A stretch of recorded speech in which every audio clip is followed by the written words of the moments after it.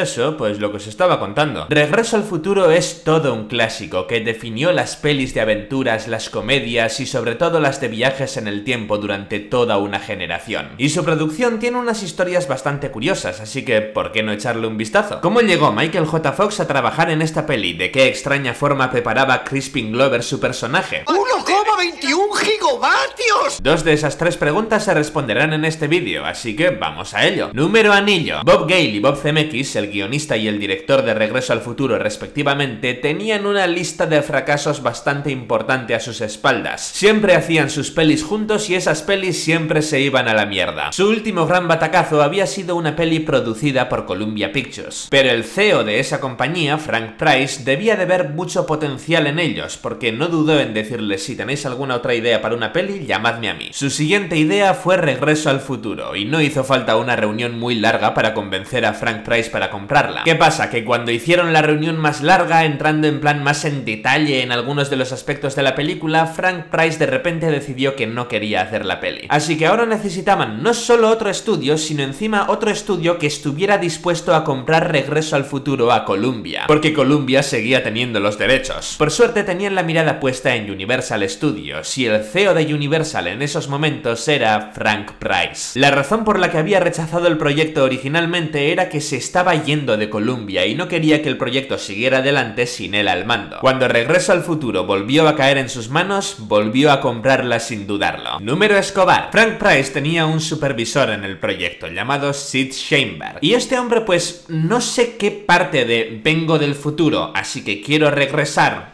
al futuro no entendía. Pero eso, que no le molaba el título, que decía, no, no se puede regresar al futuro, no es así como va la cosa. Así que envió un mensaje a Bobby Bob diciendo, vale, me vais a cambiar el título de la película. Adivinad qué título propuso. ¿Regreso al pasado? Vaya, eso no habría sido nada original, pero habría tenido sentido. No, el título que propuso fue El hombre espacial de Plutón. ¿En qué línea temporal se ve un hombre espacial de Plutón en Regreso al futuro? Bueno, cuando ambas puertas de un DeLorean están abiertas para arriba, entonces parece una nave espacial. ¡Cállate! La máquina del tiempo no era un DeLorean en ese momento. Y aunque lo fuera, ¿Plutón? ¡Hombre, no tiene nada que ver con nada! Bob y Bob básicamente le respondieron con Oh, gracias por este mensaje de broma que nos ha mandado. Alegra mucho el ambiente de trabajo. Muchas, muchas gracias y no volvieron a oír hablar del tema. Número reliquias. Vale, lo de que la máquina del tiempo al principio no era un DeLorean, era una nevera vieja. ¿A dónde vamos? No necesitamos carreteras. No, cállate. Luego en un momento de la producción simplemente dijeron, oye, van, van a tener que andar subiendo y bajando la máquina del tiempo de un camión que sea un coche, que baje sola. Número elementos. Para el papel de Marty McFly, Bob y Bob pensaron inmediatamente en el señor Michael J. Fox. En ese momento era conocido sobre todo por el personaje de Alex Keaton en Enredos de Familia. Tenía chispa, tenía gracia, encajaba perfectamente en el papel pero estaba haciendo enredos de familia. En esos momentos simplemente no tenía tiempo, así que había que buscar a otra persona. Y Sid Sheinberg propuso al joven actor Eric Stoltz, porque al parecer estaba empeñado en arruinar la peli. Sheinberg estaba tan confiado que dijo, mira, si no funciona, podéis sustituirle y volver a empezar a rodar. Ya veis por dónde va este tema, ¿no? Número 5. Eh, eh, Existen 6 semanas de metraje de Regreso al Futuro con Eric Stoltz como protagonista, a pesar de que se veía desde el principio que el tema no estaba funcionando, porque Eric Stoltz era un actor serio, incapaz de no pensar las cosas demasiado. Cuando hicieron una lectura dramatizada del guion y llegaron al final de la película, le vieron taciturno y le preguntaron qué le pasaba, y dijo, es que es un final muy triste, a partir de ahora Marty tiene que vivir una vida con gente a la que realmente no conoce, esta no es su vida de verdad. Y esa actitud se estaba notando en el plató, en manos de Eric Stoltz, Marty era un personaje demasiado serio. Así que la apuesta que había hecho Sheinberg terminó siendo cobrada. Números Incluso aunque tenían permiso para volver a empezar a grabar con otro actor, necesitaban ese otro actor. Y Michael J. Fox seguía enredado con enredos de familia. Por suerte pudieron hablar con el director de la serie y él les dijo básicamente, está bien, vale, Michael puede trabajar en vuestra peli siempre que Enredos de Familia siga siendo una prioridad para él. Lo que significaba que ahora tenían que hablar con Michael J. Fox. Así que le dieron el guion de Regreso al Futuro y le dijeron, vale, léetelo y dales una respuesta. Necesitan saber si estás dentro hoy. Y Michael cogió el guion, comparó el peso con el de Enredos de Familia que tenía en la otra mano y dijo, vale, estoy dentro. Número bolas de dragón. Claro, ahora tenían a Michael J. Fox, pero seguía teniendo que priorizar enredos de familia. Así que grabaron todo lo que podían grabar de Marty de noche. Porque por el día estaba en el set de enredos de familia. La pregunta es, ¿este hombre cuándo coño dormía? Pues dormía sobre todo entre escenas y en el tramo de un set al otro. Para el final del rodaje estaba agotado y convencido de que la película iba a ser un fracaso porque no había podido dar el 100%. Era imposible. Pero de alguna forma salió adelante, de hecho consiguió que todo el mundo se descojonara con una de las primeras frases que grabó. ¿Me estás diciendo que has construido una máquina del tiempo? ¿Con un? Y todo el equipo hizo un esfuerzo extra para poder grabar todo lo posible sin él. Por ejemplo, de día grababan estos planos, luego llegaba Michael J. Fox por la noche, grababan este plano y después se iban todos los actores excepto Michael y grababan este. Número simetría. Si Marty hubiera nacido en 1990 habría jugado a Pokémon y su Pokémon favorito habría sido Charizard. Número simetría, ahora en serio. Al cambiar de actor habían perdido 6 semanas de trabajo y tenían que rehacerlo todo teniendo en cuenta el tiempo límite que seguían teniendo. Pero que tenían algunas ventajas. Para empezar, ya habían rodado con Eric Stoltz y sabían qué tipos de planos funcionaban y cuáles no, así que el trabajo de vamos a pensar cómo vamos a hacer este plano ya estaba hecho. Solo tenían que volver a montarlo igual y eso agilizaba muchísimo el proceso. Y luego además, como estaban empezando a rodar de nuevo, tuvieron la oportunidad de volver atrás y reconsiderar algunas de las decisiones que habían tomado. Por ejemplo, pidieron que en edición añadieran chispas al patinete de Marty. Y luego, durante el propio rodaje, pues Eric Stoltz llevaba una chaqueta negra en la que la idea era no desentonar en los años 50. A Michael J. Fox decidieron ponerle un chaleco con algo más de color y que sí desentonara y que esa fuera la gracia. Números 3. Al revés. En 1991, un año después del estreno de Regreso al Futuro 3, a Michael J. Fox le diagnosticaron la enfermedad de Parkinson. De hecho, diría que a día de hoy es tan conocido por sus campañas de concienciación sobre el Parkinson como por Regreso al Futuro. Y a pesar de que supuestamente no mostró síntomas hasta 1990, el equipo de Regreso al Futuro echa la vista atrás y dice, hostia, un momento, en el Far West cojeaba cuando corría. Eso se acerca mucho al 90, ¿no? Pero volvamos al 85 o al 55, como prefiráis verlo. Sus dedos no tocaban las cuerdas de la guitarra cuando tocaba Johnny B.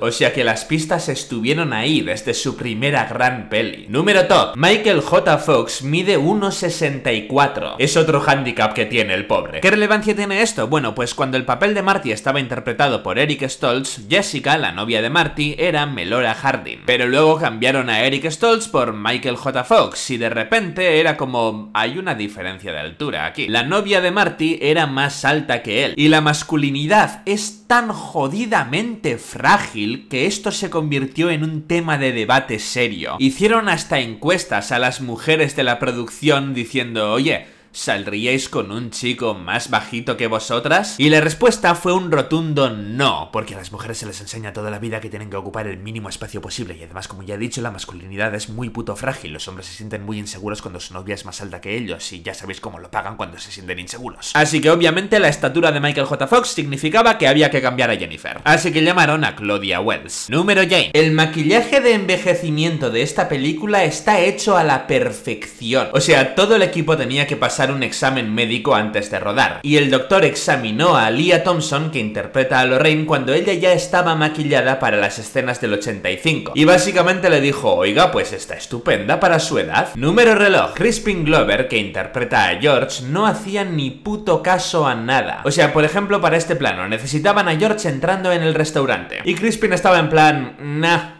George no quiere entrar. Y todo el mundo, pues que le joda a George porque George tiene que entrar porque en el restaurante pasan cosas que tenemos que grabar. Y Crispin, no, pero es que, es que mi personaje no quiere entrar. ¿Yo qué le hago si mi personaje no quiere entrar? Tengo que ser fiel a mi personaje, no puedo entrar. Pues una puta hora discutiendo por eso. Eh, Crispin, tío, invéntate una motivación que haga que tu personaje quiera entrar. Otro ejemplo es esta escena, que no paraba de salirse del plano. Crispin, te necesitamos en cámara. Ya, pero George quiere ir ahí. Le terminaron poniendo una mini vallita rodeándole los pies y diciendo, mira, pues ahora George se tiene que quedar aquí. En The Movies That Made Us, que es de donde he sacado estos datos, varios minutos antes de empezar a soltar toda esta mierda sobre Crispin Glover, empezaban a decir, no, no, Crispin, Crispin era un encanto, una delicia de persona. Yo creo que en plan, porque sabían lo que iban a contar más tarde. Número doctora. Una vez Crispin Glover le dijo a Leah Thompson, oye, nos encontramos en mi casa si quieres y nos preparamos un poco nuestros personajes y nuestra química y tal. Y Leah Thompson llegó a su casa y Crispin Glover básicamente le dijo, bueno, pues ahí tienes tu lienzo, este es tu pincel, vamos a dibujar un volcán cada uno. Y cuando hubieron terminado sus respectivos volcanes, Crispin dijo, bueno, pues, eh, pues ya está, ¿no? Venga, pues,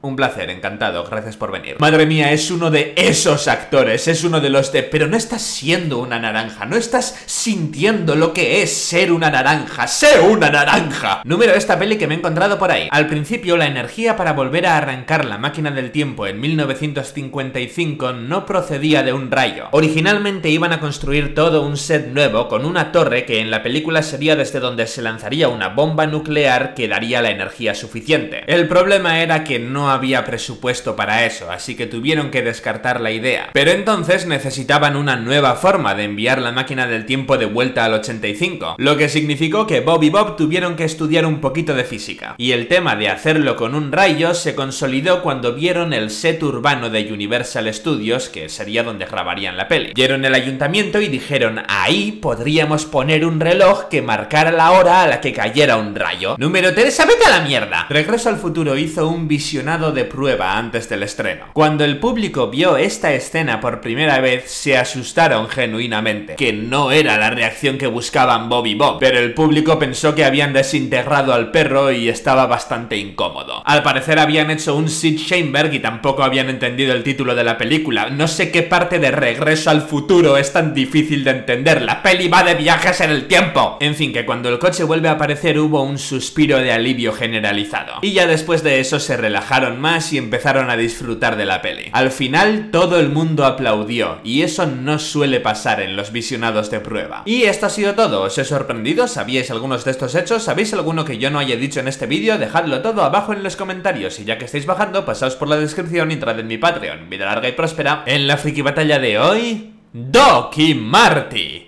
contra... ¡Reque Morte! Comentad abajo. Vota el vídeo, vota el vídeo, vota el vídeo, sí, y dale a favoritos. Vota el vídeo, vota el vídeo, vota el vídeo, sí, y suscríbete.